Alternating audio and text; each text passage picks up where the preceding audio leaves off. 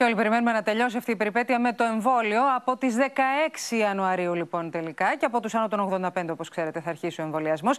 Ήδη σήμερα κλείστηκαν και τα πρώτα ραντεβού. Και όπως θα μας πει η Δέσπινα Βλεπάκη, που είναι μαζί μας και πάλι, μιλάμε για πολύ μαζική ανταπόκριση των πολιτών, Δέσπινα.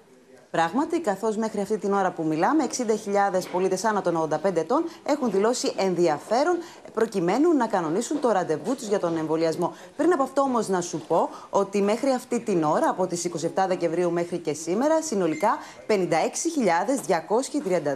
έχουν εμβολιαστεί. Μιλάμε πάντα για υγειονομικούς αλλά και ωφελούμενους κλειστών δομών. Αυτό σημαίνει ότι έχει εμβολιαστεί το 0,54 του πληθυσμού. Όπως είπαμε, λοιπόν, 60.000 άνω των 85 έχουν δηλώσει ότι θέλουν να εμβολιαστούν και να δούμε και κάποια πρακτικά ζητήματα, ναι. καθώς αφορά και πάρα πολύ κόσμο.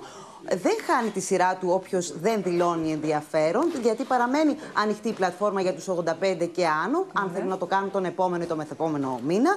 Ε, μπορεί κανείς να αλλάξει το ραντεβού του έως 72 ώρες πριν πάει στο εμβολιαστικό κέντρο, ενώ σε περίπτωση που δεν ακυρώσει το ραντεβού του, αλλά δεν πάει να κάνει το εμβόλιό του, ναι. μπορεί και πάλι να προγραμματίσει ραντεβού 30 μέρες μετά. Λοιπόν, χρήσιμες οι πληροφορίες. Ευχαριστούμε πολύ τη Δέσπινα Βλεπάκη.